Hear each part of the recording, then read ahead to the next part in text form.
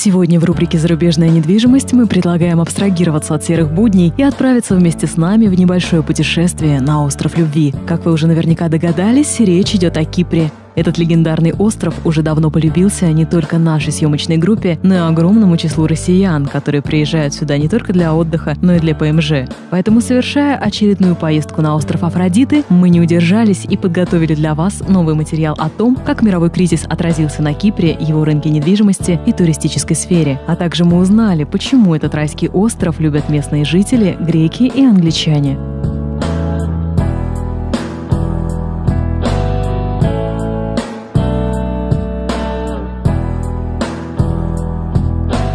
Итак, начнем с недвижимости. Курсовые колебания, потрепавшие нервы россиян в конце прошлого года, довольно сильно ударили по рынку зарубежной недвижимости. Огромное количество сделок разрывалось и переносилось.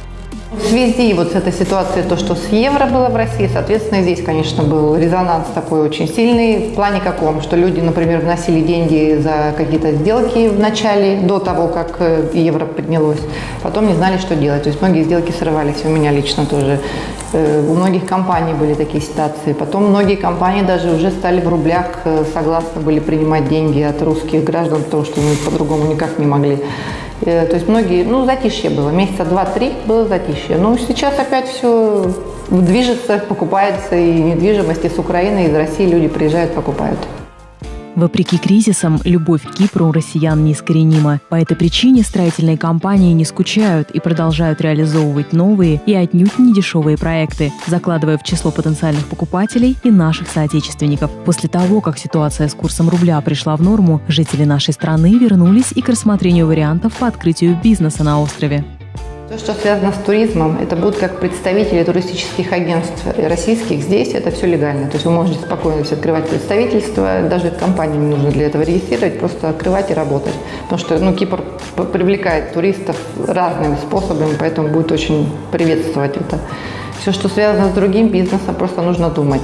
Либо, если это будут какие-то услуги, то есть какой-то компания заключает соглашение, какие-то договор, и работать уже под это. Ну, надо смотреть индивидуально очень каждый подход к клиенту. В принципе, сейчас эм, ситуация такая, что очень, ну, есть безработица все-таки на Кипре, и, конечно, стараются привлекать прежде всего своих э, трудоустраивать людей, а потом уже иностранцев. Но находим способы, чтобы работали и все остальные тоже.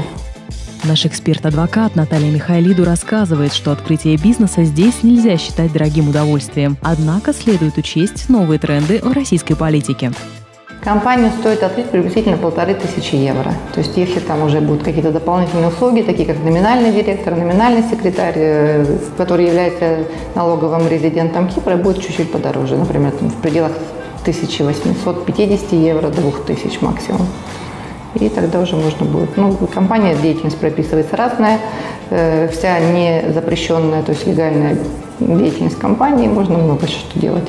И услуги, и реклама, и транспорт, то есть все что угодно. Немножко изменилась политика России – и сейчас они, я слышала, то есть те люди, которые владеют э, компаниями на Кипре, должны уведомлять налоговой инспекции России. Но пока это тоже не испугало, потому что не было прецедентов на эту тему, то есть пока не было запросов никаких из России, все равно продолжают открывать и работать здесь. А теперь немного о туризме. Представитель крупнейшей кипрской компании «Лептос» Джордж Лептос отмечает, что несмотря на все сложности в экономике и политике, туристический поток из России меньше не становится. Uh, Кипр все еще очень популярен среди русских. Конечно, экономические и политические кризисы, ситуация с Украиной, драматическое падение курса рубля – все это повлияло на Кипр. Но за последние месяцы ситуация немного улучшилась. Мы ожидаем, что число русских туристов, приезжающих на Кипр, будет увеличиваться с годами по многим причинам. Первую очередь из-за прекрасных характеристик Кипра, как туристического направления. Но основной причиной все же является тот факт, что русские и киприоты исторически связаны друг с другом. Здесь очень сильная связь между двумя странами, между двумя народами, много общего, включая религию, семейные ценности и в целом культурные связи. Рассказывая о планах на новый туристический сезон, кипрские ательеры не стесняются своих амбиций.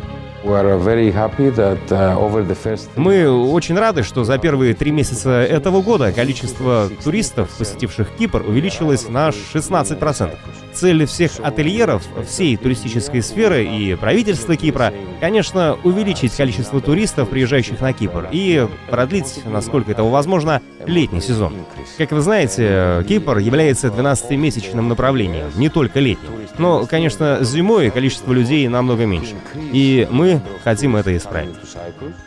Причины, по которым россияне переезжают на остров Афродиты, понятны практически каждому. Недостаток солнца, моря, свежего воздуха, усталость от активной городской жизни и многое другое. Но почему сюда переезжают греки и англичане? И почему сами киприоты, несмотря на неограниченные возможности в передвижении по Европе, все равно возвращаются домой? Об этом они расскажут сами.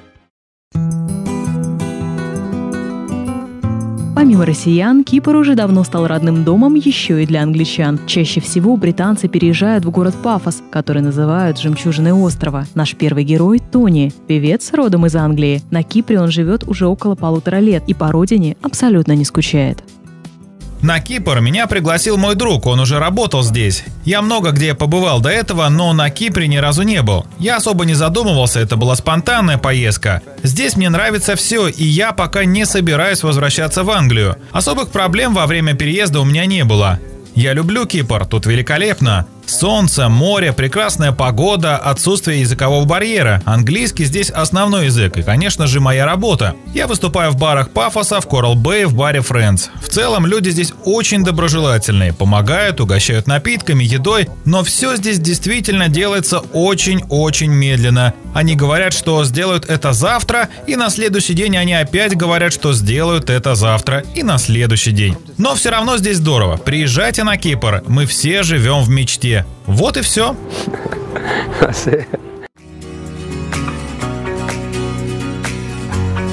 Наш второй герой – Джордж. Он киприот. Нашего гостя можно считать активным путешественником. Несмотря на большой опыт жизни в других странах и противоречивые чувства по отношению к острову, Джордж все равно предпочитает жить именно здесь. Жить здесь очень легко. Я жил в США, жил э, во Франции. Мне жизнь на Кипре дает меньше возможностей. Например, не так много мест для развлечений ночью. Но здесь э, более расслабленный стиль жизни. Так что люди более умиротворенные, дружелюбные, у них меньше стрессов. Здесь легче найти кого-то с похожими интересами. В общем, это лучшее место для семейной жизни с хорошими друзьями. Я люблю и ненавижу Кипр одновременно. Я стараюсь видеть положительную сторону Кипра и наслаждаться жизнью. Конечно, есть такие плохие вещи, как коррупция, в экономике есть проблемы, она медленно приходит в норму. Но все равно есть какие-то проблемы, в основном для молодых людей. Очень сложно найти работу, много безработицы. В целом, пессимистичный настрой здесь на острове. Но я надеюсь, это скоро изменится. Я уже вижу некоторый прогресс. Так что надеюсь, в ближайший год, может быть два, все более или менее придет в норму. Кроме этого, да, я люблю Кипр, я наслаждаюсь жизнью здесь, и я с радостью пригласил бы сюда всех в качестве туристов.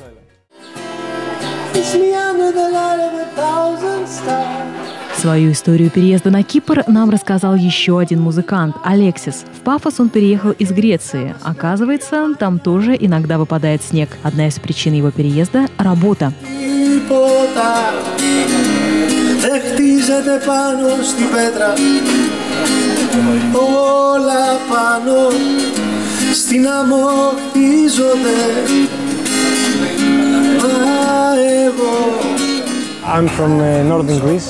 Я из Северной Греции, и в моем родном городе довольно холодный климат, много снега. И это здорово быть в таком прекрасном месте, как Пафос. Здесь море, замечательная атмосфера и хорошая погода. Из-за того, что у меня много свободного времени, я стараюсь проводить его креативно. Чтобы держать себя в форме, я бегаю, плаваю, иногда просто гуляю с друзьями.